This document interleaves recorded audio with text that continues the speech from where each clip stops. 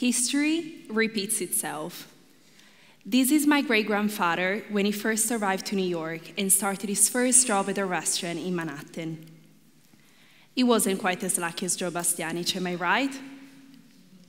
He started out washing dishes, though he did manage to live the dream and finally open his own restaurant. In the meanwhile, he worked his way up. Not bad for a young man who disembarked at Ellis Island, right? You see, he decided to leave his country, family, and friends to seek its fortune in the United States, the country of opportunity per excellence, at least at the time it was.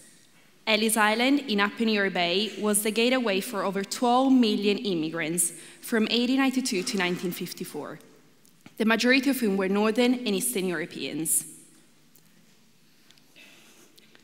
Today, six years later, the reason behind us leaving haven't changed much.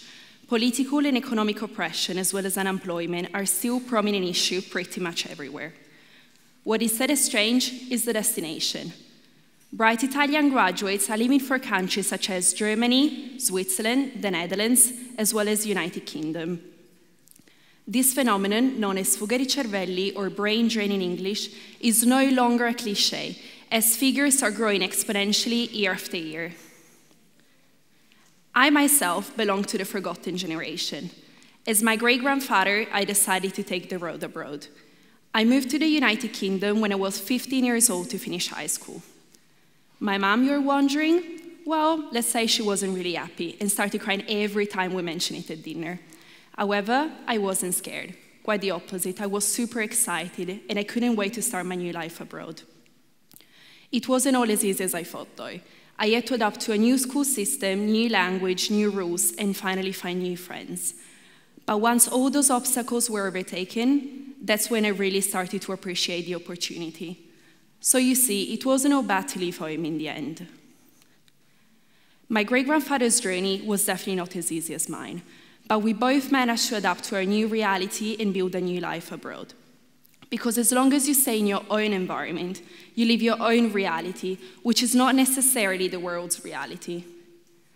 Nobody really likes to leave home, but personal enrichment and growth only come from stepping into the unknown and facing the adversities.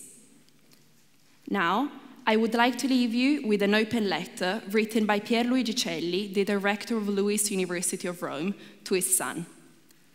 This country, your country, it's no longer a place where it's possible to stay with pride. That's why, with my heart suffering more than ever, my advice to you, having finished your study, is to take the road abroad.